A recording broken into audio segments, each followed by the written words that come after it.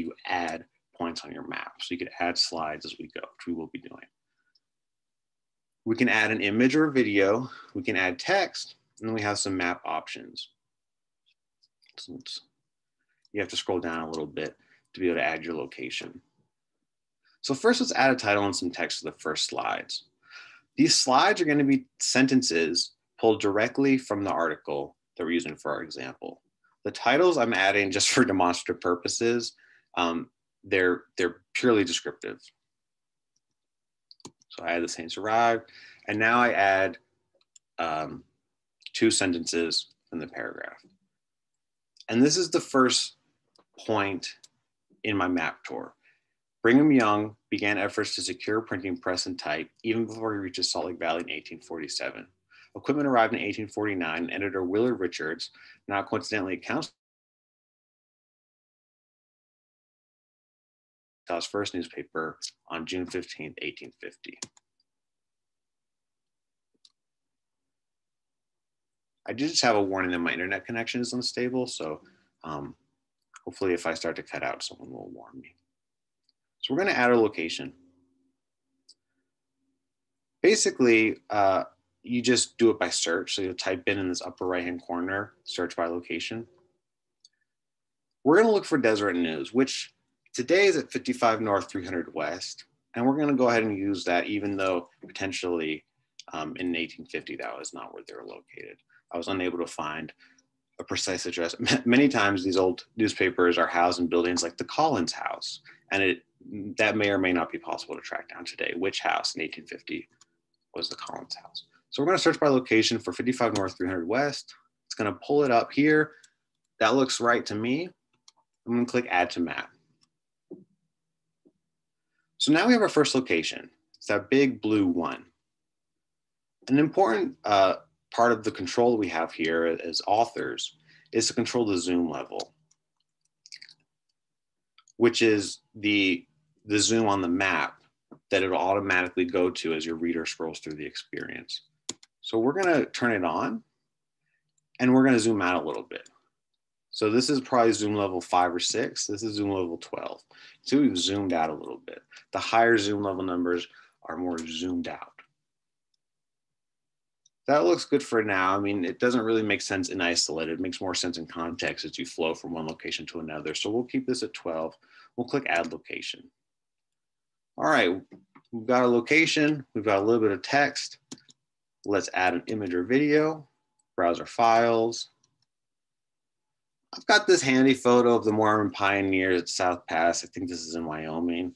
Um, probably a familiar photo to some of us. You know, there's a few really, really classic photos that circulated. We're just going to use this um, for now. Just get a picture of what it might have looked like when the Saints arrived. So now I've completed our first step. You can see, again, it is very close to a slideshow, just with this heavy map integration. Keep going a few more times, and we've got a map tour. So now I've, I've jumped forward eight steps. I have eight slides. And this is just converting the first several paragraphs of that article into um, an interactive map that's going to guide its reader back and forth across these locations. In this case, in a fully chronological order. But you can see the map itself is a little bit bland right now. It's just uh, black, black lines on white with blue dots. And we do have some options there as well if we want to give it more visual as well as informative uh, flair. So if we go to our map options, you can see now we have basically two options. Well, we have three options. We can configure it to our current location, um, but that's not necessary for us right now. And we can select our base map, which is the, the map that it uses um, as, its, as its basic layer. And we can change our point color. The blue point color doesn't bother me. I'm going to stick with that, but I'm going to change my base map. So I'm going to click there and it's going to bring up this menu with about um, 15 options, 18 options, I suppose. And you can see they definitely changed the look of the map. There's uh, satellite imagery, there's like textbook map imagery, but they also do change the amount of information that it presents. There's topographical maps, I often favor the information heavy ones, but in this case, just for style, let's try this one down here. It's called the Modern Antique Map. It looks kind of appropriate for our topic. So we'll go with that. We'll click done. There. Now that looks pretty good.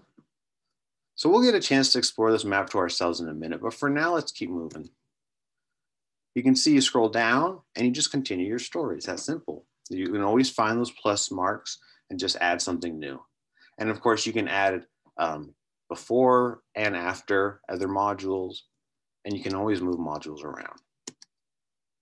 So now I've dropped in another paragraph from the text. The Utah papers were representative of American frontier journalism in other ways as well. While an enterprise and printer might start a paper with a relatively small capital investment, keeping it going in the face of isolation and competition proved more challenging. Publishers constantly pleaded with subscribers to pay their bills and often had to accept payment in produce or services. Most papers had brief lives, even when their owners operated related businesses like job printing plants or shops selling books and office supplies to subsidize them. Small staffs, sometimes consisting of only one or two persons, led to a reliance on exchange publications, from which editors borrowed large numbers of items or they might use pre-printed pages supplied by syndicates for the inside or outside of the normal four-page publications. Sort of a transitional text. The next part of the article after that paragraph zooms in a little bit now on the editorial feuds of Ogden, just a little bit north of us. So for that section, we'll try a different interactive element here, a little bit less map dependent one, the slideshow. And we'll see how um, this compares, but also quite contrasts with what we just did. So similar interface, but no longer map oriented, doesn't even give us the option to add a location. So we're gonna add some text. I'm not gonna add titles here because I just can't come up with any that, that meaningfully contribute to the text. What I'm gonna do is just break up um, this one paragraph from the original source material into its constituent sentences and then make each sentence into a different slide. Because this is going to zoom in on a more biographical section of the text. And because it's more biographical, we don't really need uh, the map element of the map tour.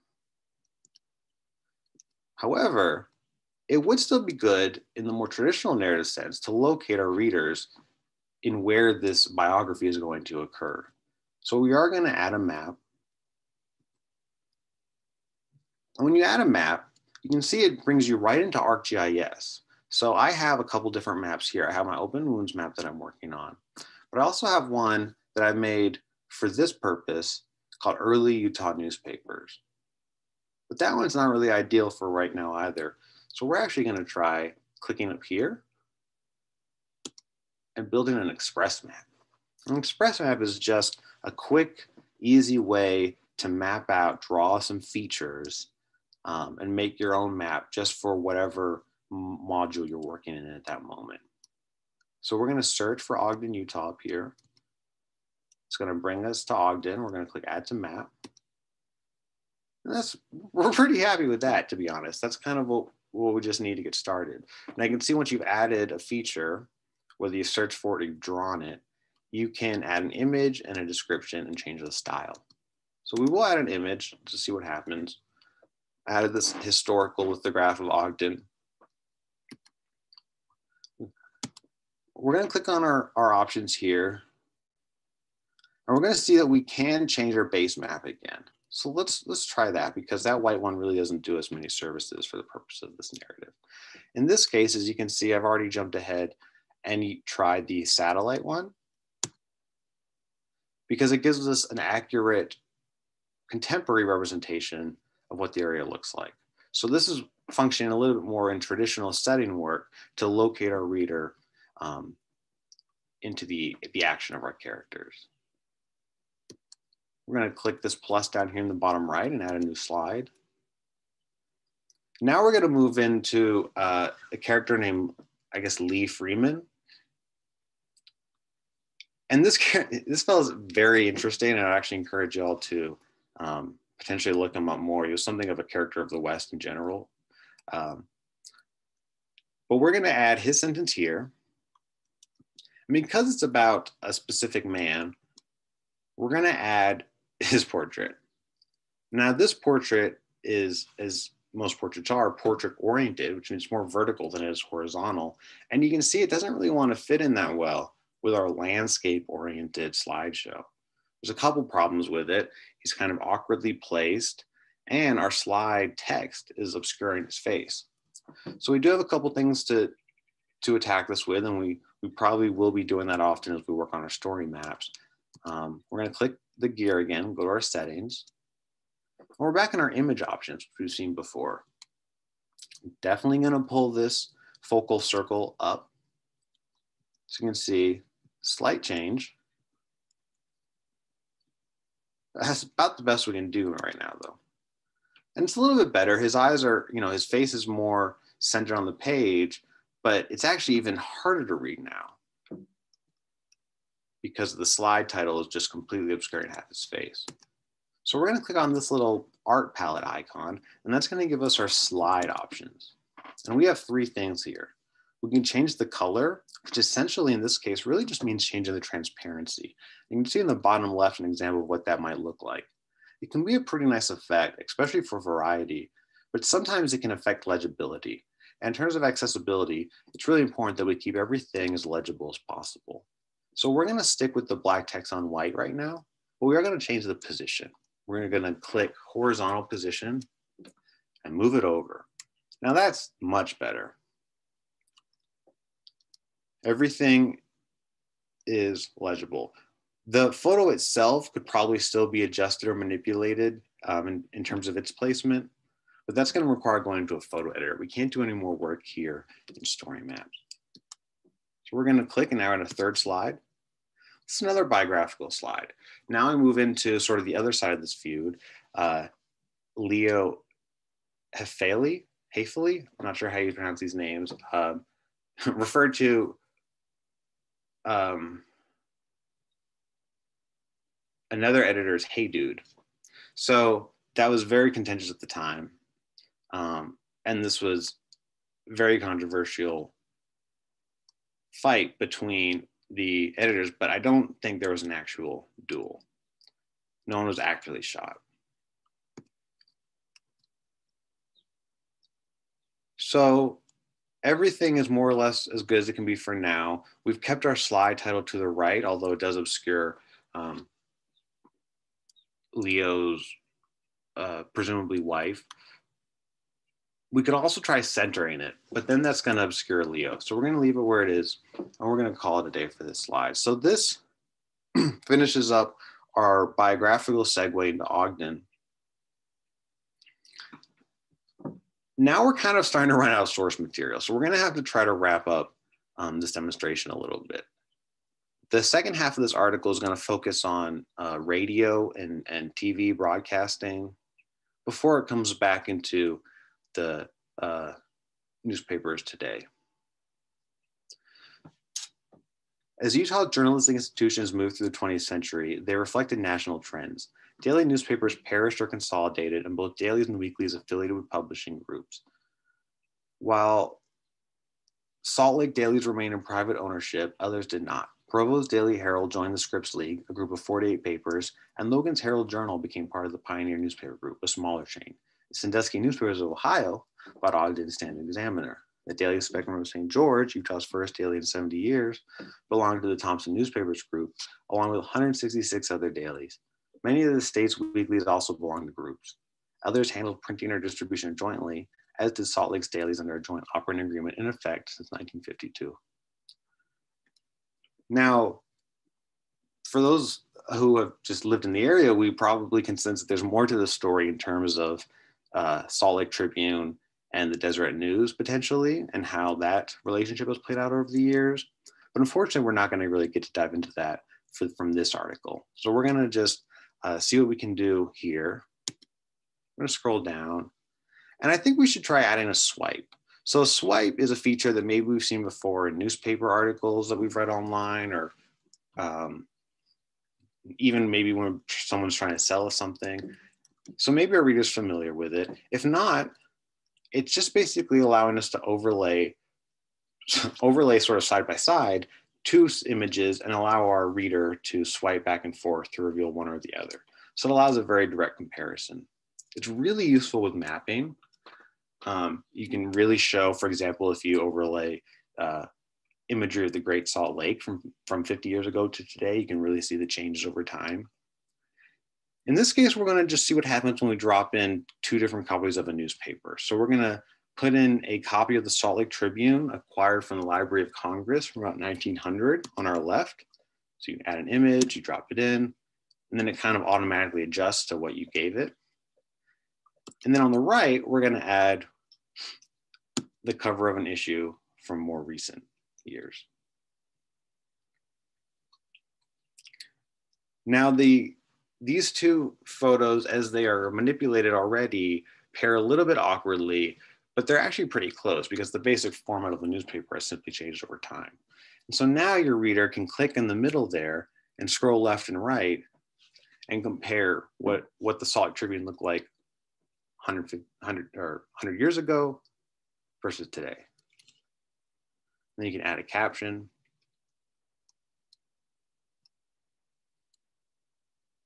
And that's about as far as we're going to get. We're going to add a map simply because we have it.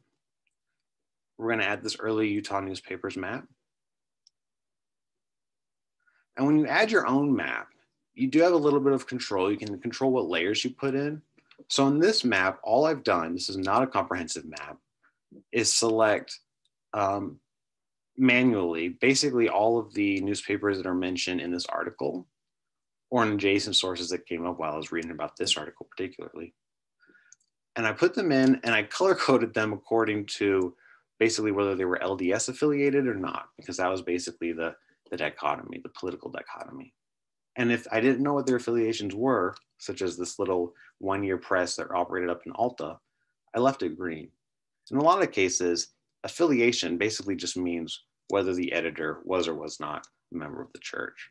But of course, as we can imagine, the consequences for that were fairly large.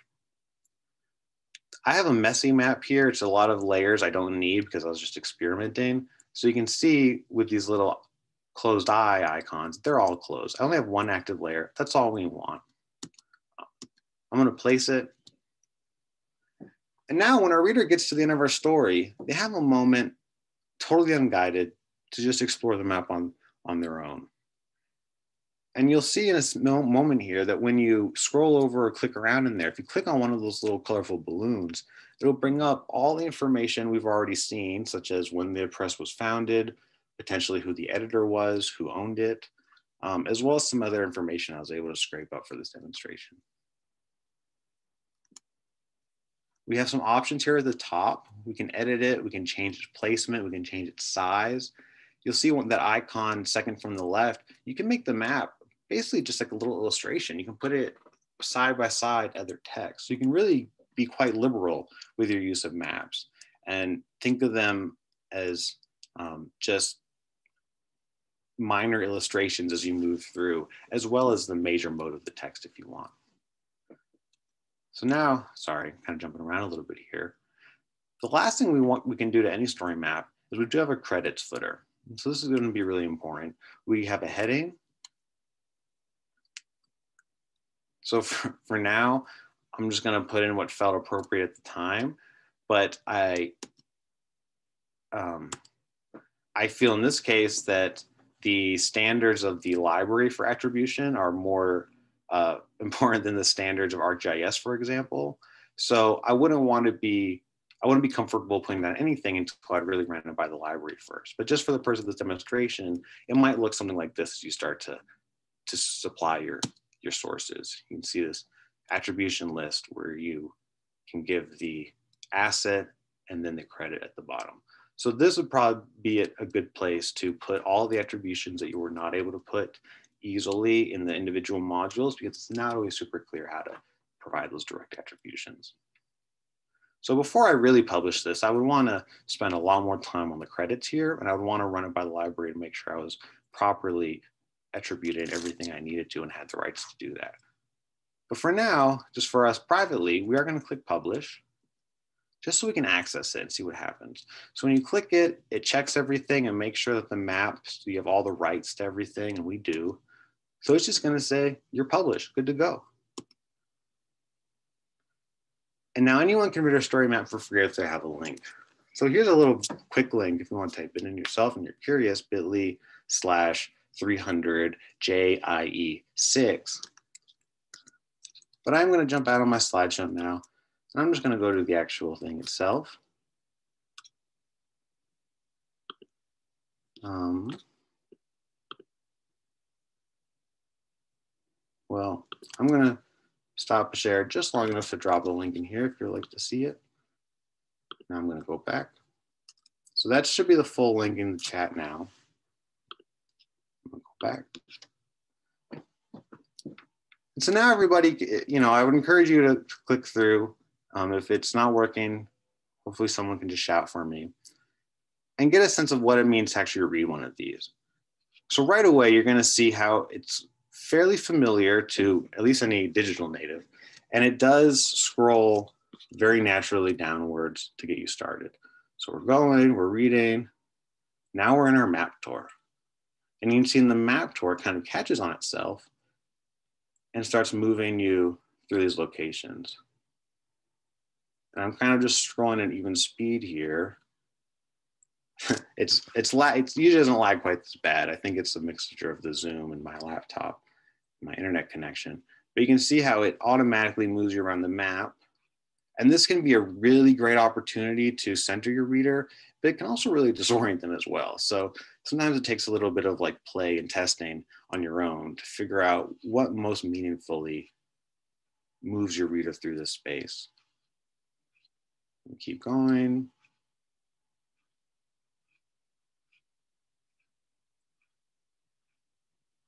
Again, usually a little bit smoother of a scrolling operation on your own, but hopefully maybe you're you're already doing this on your own and getting a picture for yourself. Let me keep going. And on the slideshow now, it's gonna orient itself horizontally a little bit. So you're gonna click, you move through.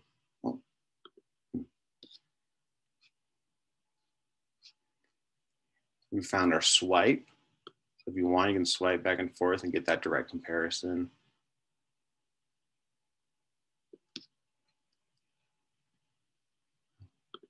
Now we're in our map. And maybe, you know, maybe they just kind of scroll right past, but maybe you spend a little time in here because you can see that the map is fully interactive. So, and this can be, you know, a valuable way to share ArcGIS data with, with your readers because you definitely have access to some pretty cool stuff here. So I'm going to click, I'm to see what, what was this? Oh, it looks like this was the Union Vidette, which was a newspaper started at Fort Douglas by a federal captain who came to town. Ostensibly, they came and set up this fort here to protect from um, Native American raids. I'm using finger quotes, but that uh, really he he wanted access to the mines. And at that time, uh, the church was not very interested in precious metals mining and was actually quite skeptical of these large mines. But the the federal troops bought up mining claims and then created these newspapers like the Union Vidette almost exclusively to advertise mining claims, to bring in settlers, basically to bring in non-LDS um, outsiders. So our article didn't really get into this, but that's where some of my work in mining has taken me. And see if you some of these locations have more data than others, but you can see this is all based on a spreadsheet that I put together. You can add quite a bit of information here. So you can actually really, depending on the, the core data sets of your maps, you can add quite a lot to the story. And then finally, scrolling down, you'll see your credits as they exist. Go back up. I'm going to stop sharing. And then that kind of wraps us up. So that, that shows us at least one way to get started transferring, translating perhaps a story from its textual form into a more interactive um, map-based format and some of the strengths that that has and potentially some of the things to look out for a little bit. Um, and so now, about running out of time anyway here, I, if anybody has any questions, I would love um, to field them. Hey, thank you so much. That was great. I just I asked you all to unmute right now. You don't have to, but I wanted to give you a chance just to thank Daniel because that was fantastic. Yes. Yay! How are you doing? Yay. Well done. Thank you. And we do have a few minutes. So does anyone have any questions they either want to just go ahead and ask or put in the chat box? Yeah, I've got one. Uh, I was curious, Daniel. I was thinking about something I read in Lisa's class about like remediation. And I was thinking about, you know, like the sort of the idea that, you know, one thing becomes another medium, but that it kind of picks up baggage along the way. So when a when a map becomes digital like this, I was thinking like what other kind of media show up in the experience of one of these story maps? Is it part video game? Is it part slideshow? And how do you think that affects, you know, like the way they're received? I love that you mentioned video games because I think the interactivity does start to veer into that space. I mean, because the actual experience when it comes to playing a video game is just essentially manipulating a few buttons for information, which really you cannot do. You cannot experience a map without without doing that in some way, right? You do have to, physically or digitally, you have to interface with it, move it, flip through it, um, and so it does bring that into it, but I don't know so much what other options i mean how, how else it really speaks to this the i don't know is remediation more of a problem for you or is, is an opportunity no it's more just like an interesting phenomena that Right. uh, like um i don't know like you know like think about like what the care like just different things that you don't even realize sort of like the maybe it's the camera angle of what you see or like these just other kind of like uh, artifacts from different media show up into these kind of like new emergent media and they become more of a collage of different things rather than a pure translation into like a digital map in a sense i think in some ways the pure translation that is attempting to occur through story maps is a little bit artificial and limiting um, in that sense as well because you do once you start into that space where you do want to be able to really digitally manipulate like the area and and and click through and move through like you might in a video game or in a video game map you also can't do it the way I, I wish you could do more like in my head i can zoom around i can fly through a space and potentially a future version of story maps in arcgis would allow you to fly through a space right? Like give you sort of a flight simulator mode. Um, but there are ways in which i think that the experience could be like remediated further right? And, and there are kind of limitations now that kind of do bound it a little bit more to a slideshow than a video game for example. Although depending on the, the video game a point and click video game is very close to a slideshow as well. So you're still i think it i think the the the media video game specifically is not something I had really considered as much, but it does seem um, to speak to what what this kind of narrative does, maybe more so than text. Although now that I say that, I would encourage an experimentalist text author to push back on that. So, Did you see what Justin Sorensen just said in chat? Yeah. there is flying. Oh wow, Justin, do you know if that you are able to then integrate that into a story map in the same way you just simply drop in an ArcGIS map into a story map? Because I I haven't found that yet. I believe right now the best thing you could do is export like an animation and incorporate mm-hmm. it like a video, like you were showing the images and the video. So Yeah. that's kind of where they're at right now with the integration between the two. And you can always, as, as, as I didn't really point out, but you might have noticed, uh, as Justin did, you can always add video instead of image in here. And, and so there are more in terms of remediation as well. There are more capabilities with, with sound and video um, than I brought into this demonstration for sure. So I have a question for you also, Daniel. But first, I just wanted to say I was really impressed with your attention to detail on things like accessibility, attribution, user experience. So well done in that regard. Um, the question I had was whether or not these story maps can be plugged into other systems like WordPress or like if you can embed it or, you know, into like something like a WordPress or Omeka site. I, I, don't, I believe you can, but so far I just simply haven't had to had the opportunity really to do that yet. At some point, I do hope um, I will be needing to provide it through the library, access to it through the library somehow. So we may be making a widget or something like that for it. But I, I think you can. Justin might honestly be able to speak to that better than I can as to embedding. Yeah, you can embed those in WordPress. It's no problem. Cool. Do you know if it goes into Omeka? If you can just, so I see Max just shared an iframe. So probably. I bet if I played with it, I could. Just I'm thinking of we have that women's exponent project that's currently in Omeka. It'd be fun to do a story map and embed it in that site.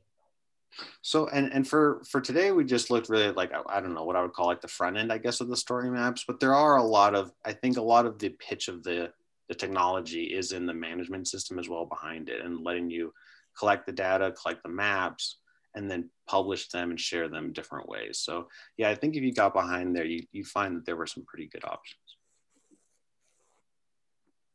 And I, yeah, for me, what I learned and what I took away really is just how, how doable it is. You know, I mean, it's really, it's a very accessible experience. And right away, when you start playing with the maps, it, it just, it's, it's just different than, than what we typically do. And I find maps apparently inherently interesting. I didn't realize how inherently interesting I found them until I really got into this material. But I do like staring at maps. So a 20 minute story can become a three hour story just on your own time, immersing yourself in the world. Okay, any other questions? Okay, well, thank you for those great questions. Um, oh, sorry, go ahead, Daniel. No, no, that's it. I was just going to say thanks to everyone for coming. Thank you so much to our presenter. And um, keep your eye on the Digital Matters listservs because we'll be announcing more events coming up. All right, have a great day, everyone. Thank you, everybody, so much. Bye.